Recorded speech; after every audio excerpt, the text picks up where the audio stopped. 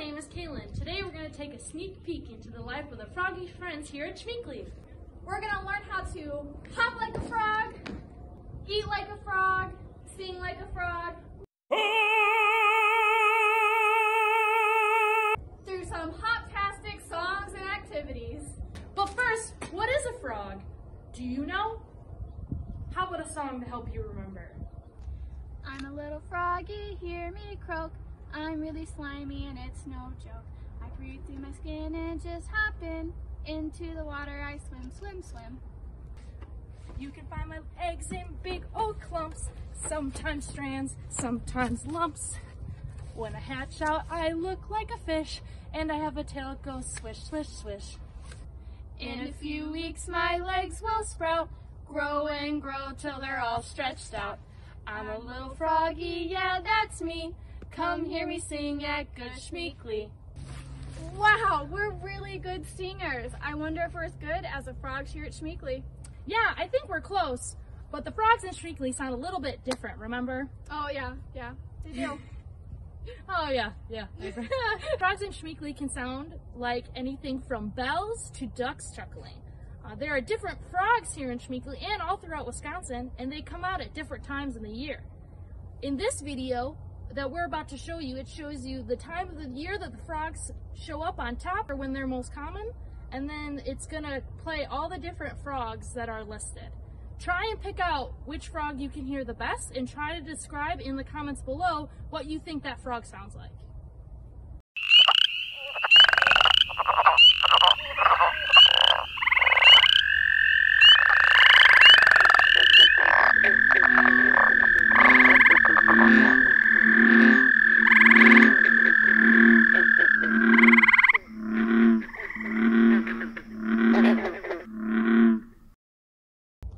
Wow, I don't know about you, but all of that singing made me so hungry. I think I need a snack. What do frogs eat? What are some froggy snacks we could find? I think I'm in the mood for some worms.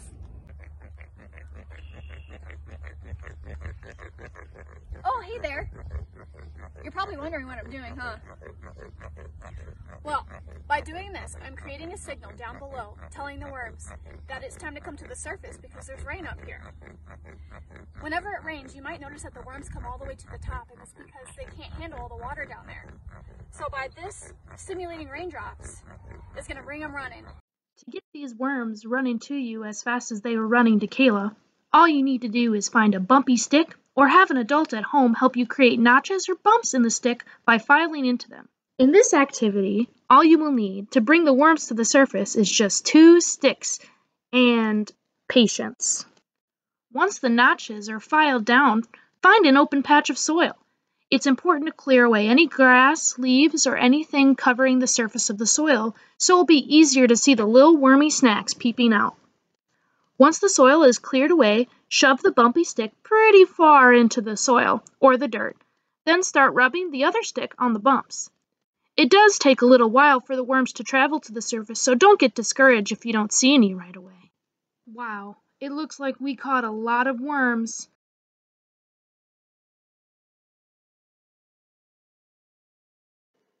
So now that we know how to get our froggy snacks, how do we eat our froggy snacks like our froggy friends? Our froggy friends that we're talking about, um, they don't have the same throat muscles that you and I do.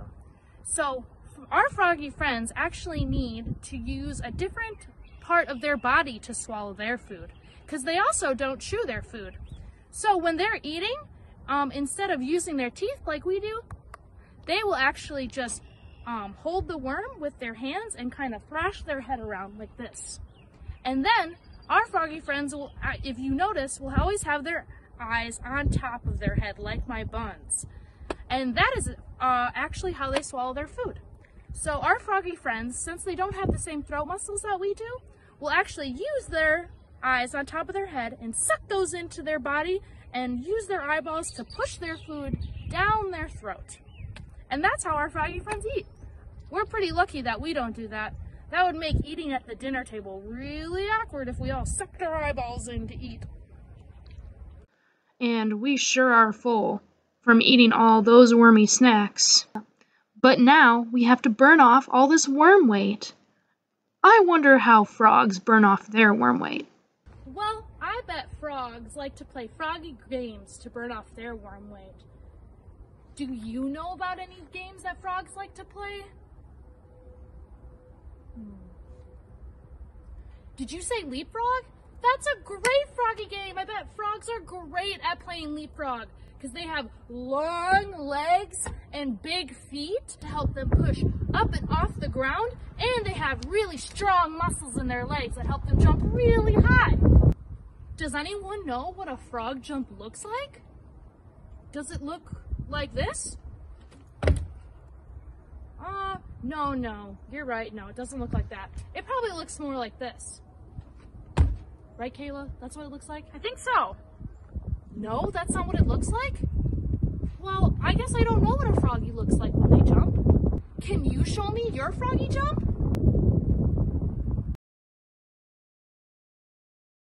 Wow! Wow, you're very good! Wow, you're all so good at jumping like frogs. If I'm if I'm seeing this right, and if I'm doing it like you were doing it, we need to crouch down like a frog and put our hands on the floor like this, and then we need to lift up like a frog, just like that. See, I knew we were doing the same thing. So now that we know how to hop like a frog, how do we play like a frog?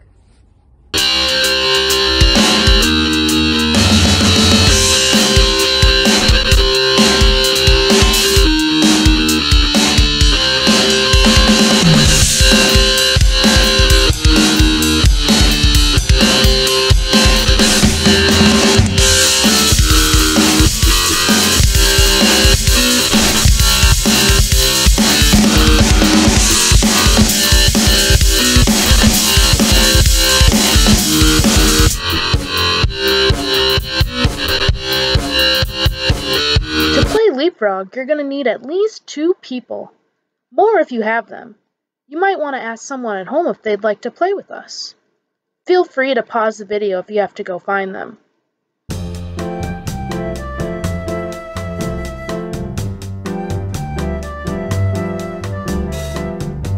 Do you have your partner or partners?